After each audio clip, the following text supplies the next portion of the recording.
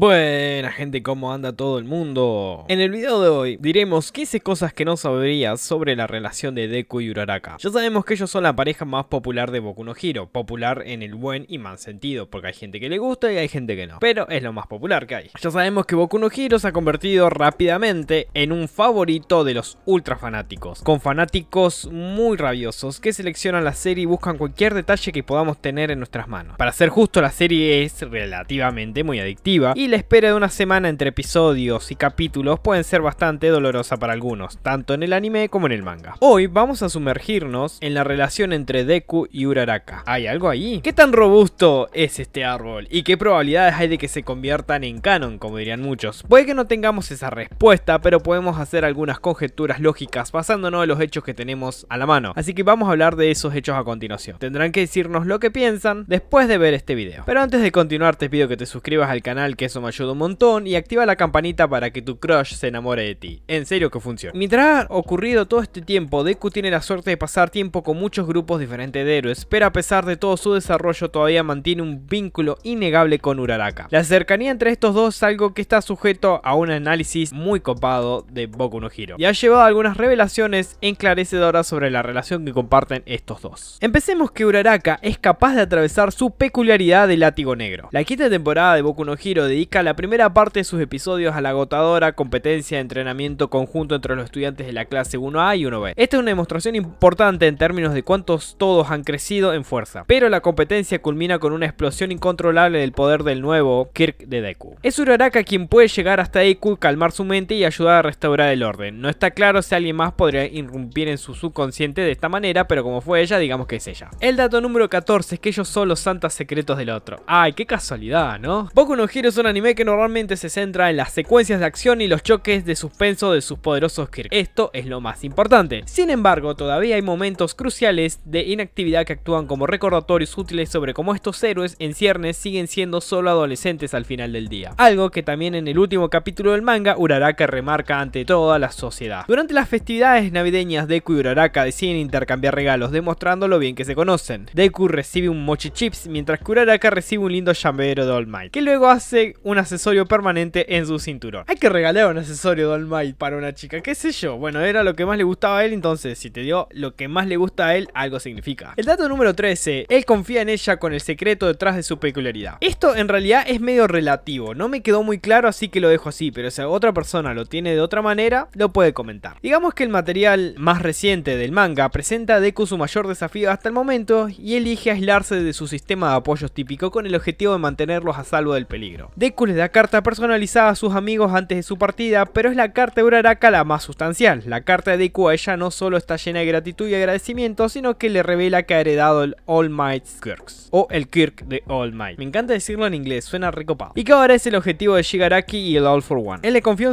un secreto que muy pocas personas conocen. El dato número 12. Puede ver a través de los imitadores de Uraraka. Una de las pruebas más emocionantes de Boku no Hero es el examen de licencia de héroe provisional, que saca lo mejor de muchos personajes y destaca cómo se comparan entre sí. Una sorpresa, digamos que copada durante este arco, es que la villana Toga se infiltra en la academia, bajo el disfraz de Kami Utsushimi, pero luego usa su Kirk para copiar a Uraraka. El truco de Toga engaña a la mayoría de la gente, pero solo Deku se da cuenta de que esta Uraraka actúa fuera de lugar y que es una impostora. Es algo que solo un verdadero amigo podría reconocer. Digamos que amigo para que nadie se ofenda. El dato número 11 se ayudan mutuamente a sobresalir en sus estudios y momentos laborales. Cuando Deku y Uraraka están juntos suelen ser las porristas más grandes del otro, pero es alentador ver que son capaces de llevarse las lecciones del otro incluso cuando están separados. Digamos que en la quinta temporada regresa el programa de trabajo y estudios a la academia, donde los estudiantes regresan a varias agencias de héroes. También esto lo vemos en el manga. Deku se une a la agencia de Endeavor y Uraraka refina sus habilidades con Ryuku y Selkie. El desvío de agua de Uraraka incorpora mucho de lo que aprende a lo largo de su tiempo con Deku y es capaz de aplicarlo maravillosamente para ayudar a su equipo. ¿Coincidencias? No lo creo. El dato número 10 es que los orígenes del nombre de Deku. Digamos que todo buen barco debe tener un nombre de barco. Es solo un hecho de la vida. La muy pequeña posibilidad de que no sepa qué es eso, poco probable, el nombre de un barco es lo que se usa para cualquier barco preferido, generalmente combinando elementos de sus dos nombres para obtener un nombre generalmente que es copado. Para Deku y Uraraka este lindo nombre del barco, Izu Ocha, aquí vemos sus nombres combinados, Izuko y Ochako, para traernos algo nuevo. Puede que no sea el nombre más lindo que existe, pero funciona. ¿Esto por qué lo digo? Porque quiero que se enoje mucha gente.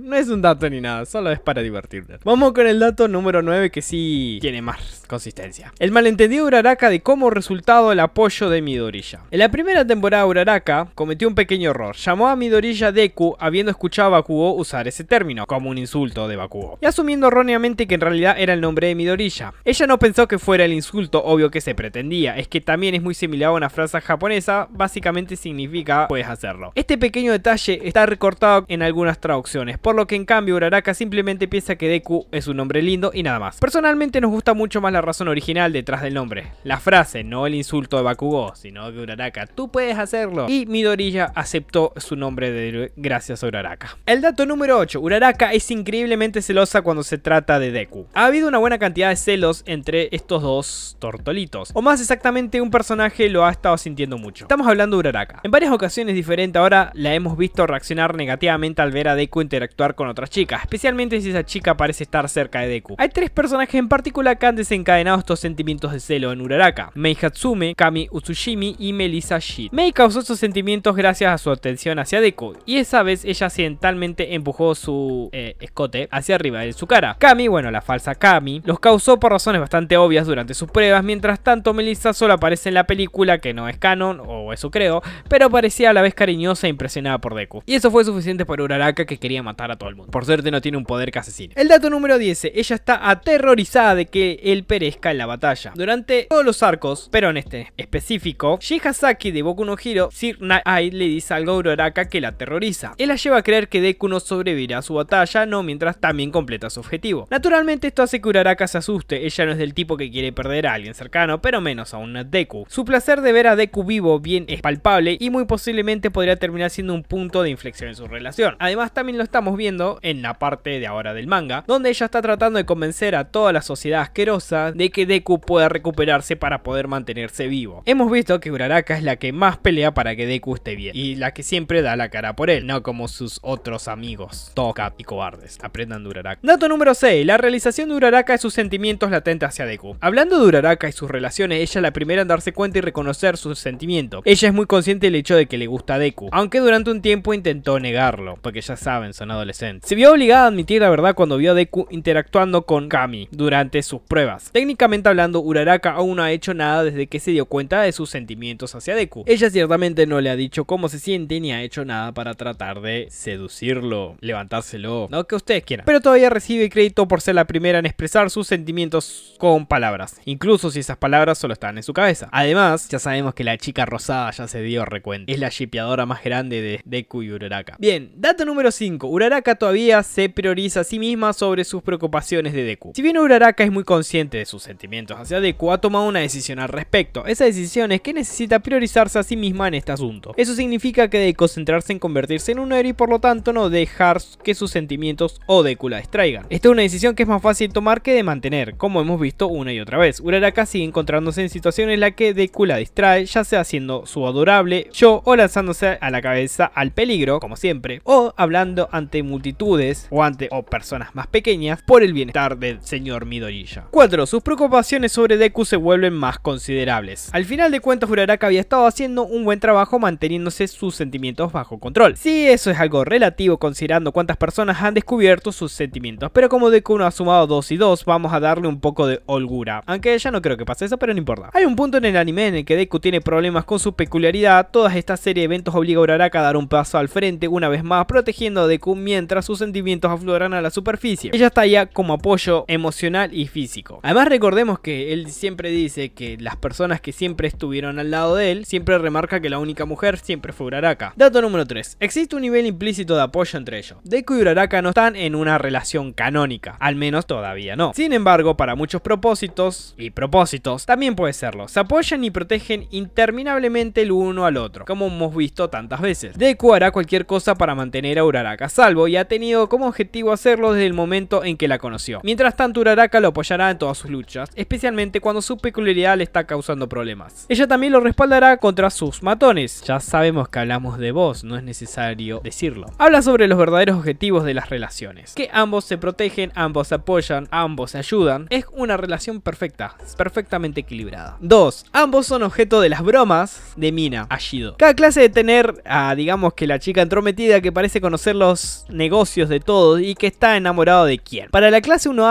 esa entrometida es Mina Ashido. Kranos no le tomó mucho tiempo darse cuenta de que Uraraka estaba enamorada de Deku, y aunque no ha sido tan descarada sobre lo contrario, no hay duda de que sospecha que Deku corresponda a estos sentimientos. Es más, lo insinúa varias veces. En varias ocasiones hemos visto a Mina burlándose de Uraraka sobre este hecho, y ha habido una o dos veces en el manga en las que también ha aprovechado la oportunidad para burlarse de ellos dos juntos. Si no hubiera estado tan ocupado sintiendo vergüenza, podría haber notado cómo relacionaba a la otra persona y haber aprendido algo importante. Dato final, número 1. El olvido de Deku hacia las niñas y su desarrollo en el área. Ay, digo niñas porque quiero ser educado. El último elemento de nuestra lista es el elefante en la habitación. Deku es básicamente un otaku. Es un gran fan de All Might y está en la academia, parece que nunca llegó a hablar con otra chica. Su reacción al hablar con Uraraka por teléfono prácticamente confirma esto. Lo que estamos tratando de decir es que es muy poco probable de que Deku se haya dado cuenta de que le gusta a Uraraka. De hecho, probablemente no lo notaría ni sospecharía que le agrada a ninguna chica. No ha declarado abiertamente ningún de su parte, pero reacciona fuertemente a la presencia de Uraraka. Porque mientras va recurriendo el tiempo, las otras chicas se acercan a él y él habla normalmente, pero no se pone nervioso como cuando se pone nervioso cuando está Uraraka. Además, después de todo lo que está haciendo Uraraka por él para que él pueda descansar y recuperarse en la academia, yo creo que va a terminar levantando un poco el amor que tiene hacia ella. Además, digamos que su primer paso como héroe fue no caerse gracias a Uraraka, lo cual llega a ser hasta simbólico, que ella siempre va a estar ahí para que él no caiga. ¿No se han dado cuenta de ese detalle o solo me di cuenta yo? Pero bueno, estos son 15 datos así como así nomás. Podrían haber muchos más, pero no quiero que el video sea muy extenso y quiero dejarlos para otro video cuando se ponga un poco más áspero el manga, ya cuando estemos unos 20 capítulos más avanzados. Bueno, hasta acá llegamos con el video. Vamos a dar unos saluditos a Black Reaper y a Red Demon. Así que si te gustó el video, dale like, comenta, compartirlo con tus amigos y nos vemos en el próximo video. Chao.